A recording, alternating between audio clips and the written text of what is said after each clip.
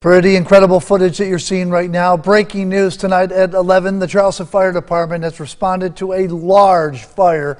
This is at a construction site on Johns Island. We've received pictures and video showing this fire visible from many miles away.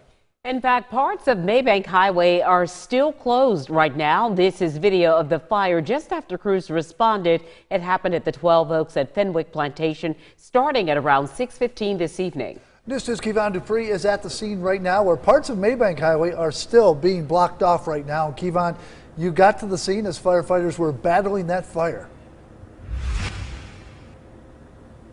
Brendan Carolyn, the fire is at an apartment complex that is currently under construction here on Johns Island. And as you can see behind me, there's a lot of emergency personnel here in the area. What I'm going to do is step out of the way to give you a better look at home at the situation.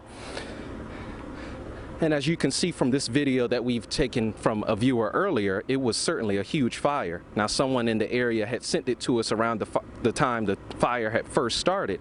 I'm told the name of the apartment complex is 12 Oaks at Fenwick Plantation, which is still being constructed off of Maybank Highway.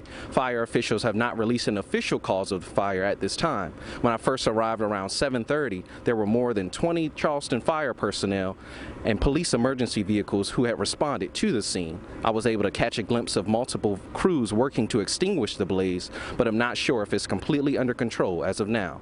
There are also a lot of people who live in the area who are stranded in a nearby shopping center parking lot and aren't able to get home because the roadway is completely blocked.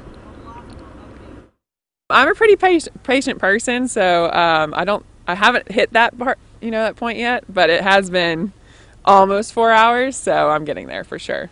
Yeah, but uh, yeah, we'll see. I hope I don't have to sleep in my car tonight. That would be nice.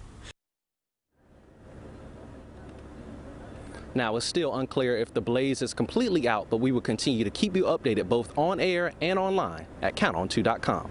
For now, reporting live in Johns Island, I'm Kevon Dupree. Count on 2.